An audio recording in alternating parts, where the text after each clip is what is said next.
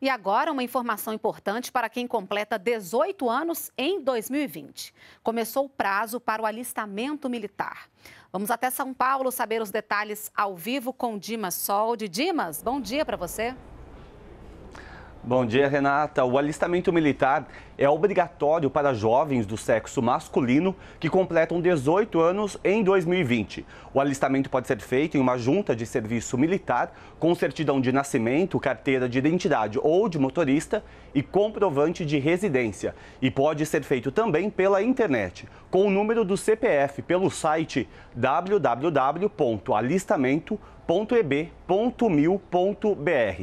Quem não se alistar pode ter impedimentos, como tirar passaporte, carteira de trabalho ou ingressar no serviço público. A expectativa do Ministério da Defesa é que 2 milhões de jovens realizem o alistamento. 100 mil devem ser incorporados em organizações militares da Marinha, do Exército ou da Aeronáutica. O prazo para se alistar é até o dia 30 de junho. Renata.